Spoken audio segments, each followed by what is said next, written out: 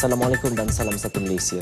Kempen Mega My Daftar di 23 kawasan di seluruh negara yang bermula pada 3 Jun lalu giat memastikan warga negara yang layak memiliki dokumen pengenalan diri.